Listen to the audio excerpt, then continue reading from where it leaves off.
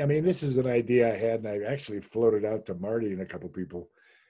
I would love to see Taggart come out of that. Eddie gets in some kind of jam in Detroit, and Taggart and Rosewood. Taggart comes out of retirement and goes to Detroit to bail Eddie out, and I, you know, get us back to that. I, I, that's one of the ideas that I had, but who they never listen to actors, so.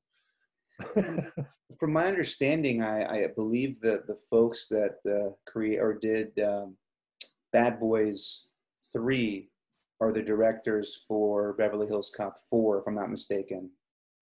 That's what I've read too. I mean, I, you know as much as I do. I, you know, that's why I call Jerry. I mean, all I get is what's on Google and stuff too. You know, I Yeah. I hear rumors and you know, and that's why I called Jerry, and and he just said it's in development. So Yeah. okay, you know, but I know that that's they're supposed to be attached to it. Bad Boys for Life, they did, yeah. Yeah,